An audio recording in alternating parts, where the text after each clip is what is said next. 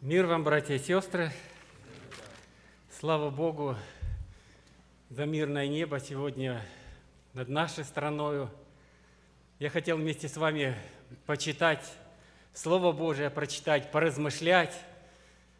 Знаете, однажды как-то искал, смотрел и услышал одну песню, которая пелась. Это было посвящено праздникам с Иерусалимом что-то. И наши братья пригласили из еврейских церквей. И вот наши братья спели про Иерусалим песню такую. И потом э, из евреев вышла группа петь. И вот эта песня, она почему-то уже прошло, может быть, лет восемь назад, она осталась в моей голове. И когда читал на, прошлой, э, на прошлом месяце вот, книгу псалмов, и я нашел этот стих, о чем они пели.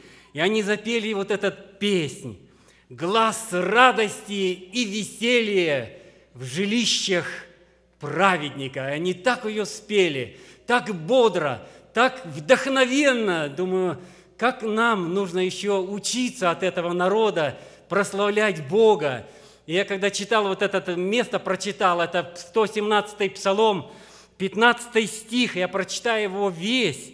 «Глаз радости и веселья в жилищах праведников, Десница Господня творит силу. Знаете, он остался, этот псалом в моей памяти. Когда читал в прошлом месяце вот эту книгу псалмов, нашел это место и еще раз вспомнил, вспомнил. А теперь я хотел бы еще одно место прочитать, которое записано а, в Псалме 143, 12 по 15 стихи. Да будут сыновья ваши, как разросшиеся растения в молодости, дочери ваши, как искусно изваянные столбы в чертогах ваших, как красиво описывает э, псалмопевец. Да будут житницы ваши полны обильным всяким хлебом, да плодятся овцы ваши тысячами и тьмами на пажитях ваших. И последний стих – 15. Блажен народ, у которого это есть. Блажен народ, у которого Господь есть Бог. Знаете, я подумал, где можно найти такой народ, у которого было вот так вот, как мы сейчас прочитали, чтобы был глаз радости и спасения в жилищах их. Может быть, тогда, когда читаешь книгу э, царств про Соломона, когда не было войны во время правления Соломона. Он царствовал всей землей, за рекою. Написано, Израиль жил мирно под смоковницей своей, под виноградным э, ложами. Жил мирно. А сейчас не найти такого. Только там, где царствует Бог, там можно найти глаз радости и спасения в жилищах праведника – жилище праведникова, братья и сестры, благословляет Бог. Бог охраждает дом праведника, потому что написано Псалом 126, 4 стихом, я не буду только последний стих, «Так благословится человек, боящийся Господа».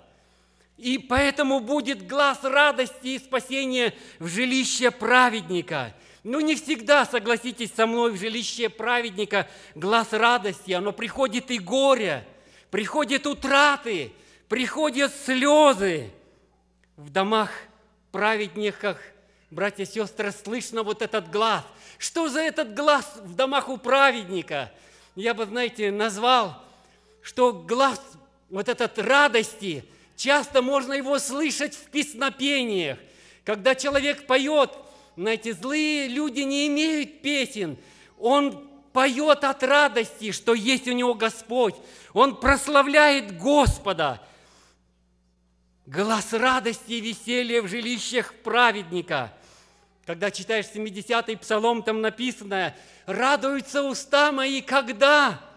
Я пою тебе, братья и сестры, когда человек поет Господу, его уста радуются – его наполняет сердце особая радость. А дальше говорится, и душа моя, которой ты избавил, душа, она откликается на всякое Слово Божие, когда оно читается, и тогда наполняется душа наша словословием Богу нашему.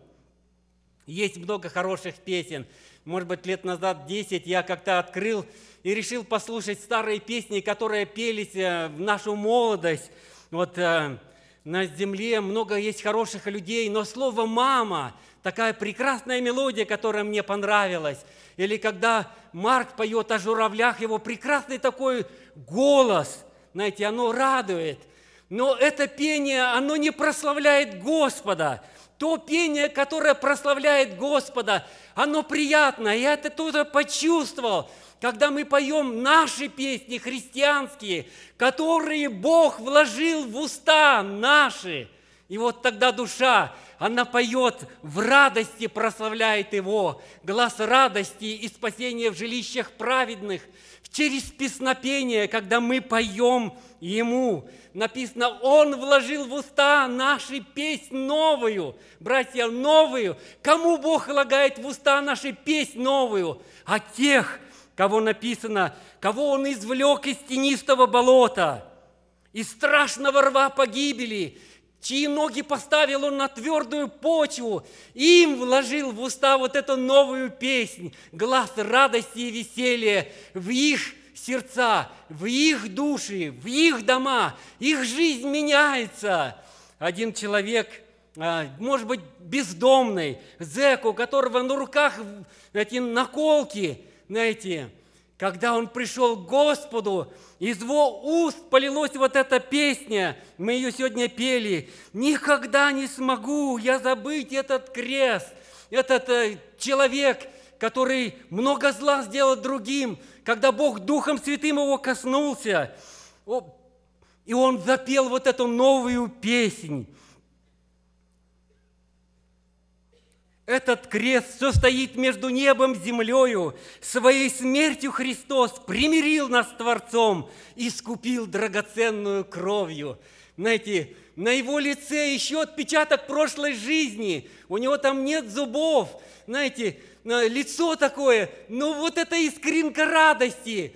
Знаете, у него нет слуха, но он поет поет в своем сердце Господу. Бог ему дал вот эту новую песнь. Он стал новым творением, братья и сестры. И Слово Божие говорит, не знаете ли, что тела ваши суть храм живущего вас Духа Святого?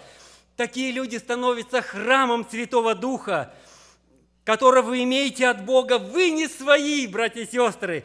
Вы куплены. Это 1 Коринфянам 6 глава 19 и 20 стихи. Вы куплены дорогою ценою.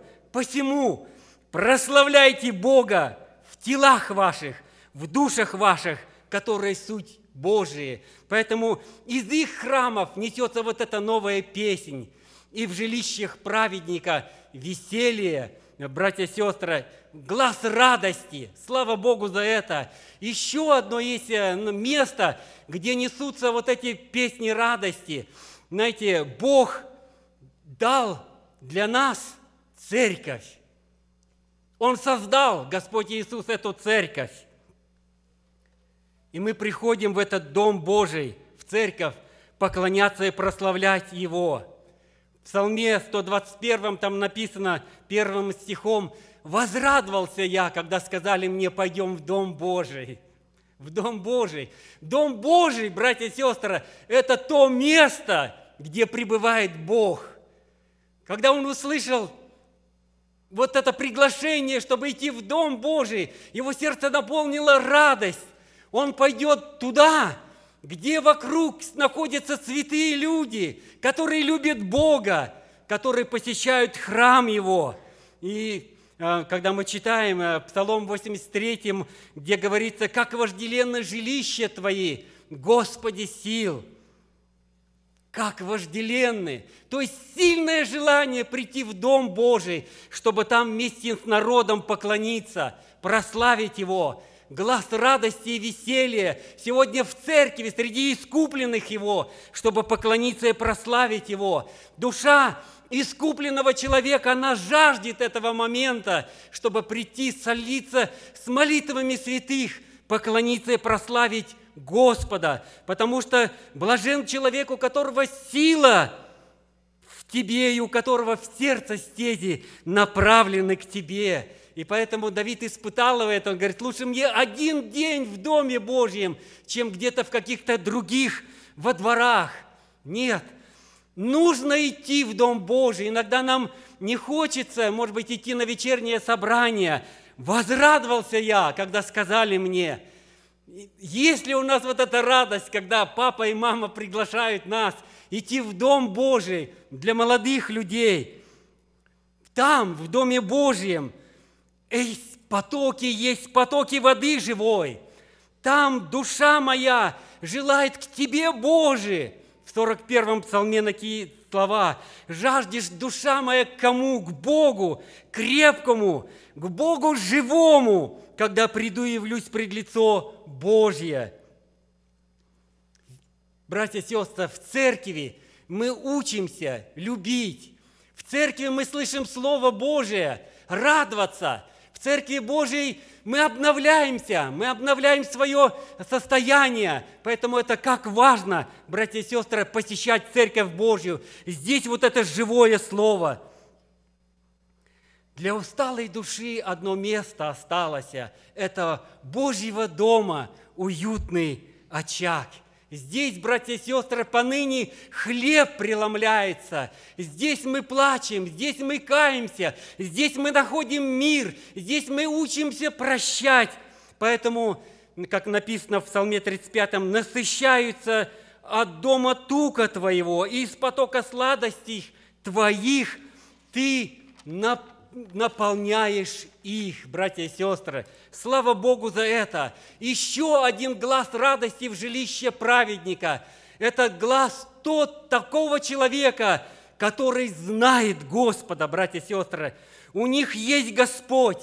Они знают Сына Божия. Это самое большое счастье – знать Его и любить Его. Псалом 134, 9 стихом написано, «А моя душа будет радоваться о Господе, будет веселиться о спасении от Него». Братья и сестры, вот глаз радости – радоваться о Господе. Что у нас есть Он, братья и сестры, это великая радость. И поэтому душа моя будет веселиться о спасении от Него. Одного одного парнишку, которого судили, ему где-то, может быть, было 19 лет. Это несколько месяцев продолжался вот это вот суд, хотели его осудить его. И когда лоер его оправдал, когда объявили, он стоял, смотрел, смотрел, его лицо как-то изменилось, и он разрыдался – он был оправдан, он не мог поверить, он не ожидал этого, потому что он не виновен. Он просто разрыдался от радости, он не виновен. Мы поем такой гимн, он спас меня и оправдал, освободил от вины.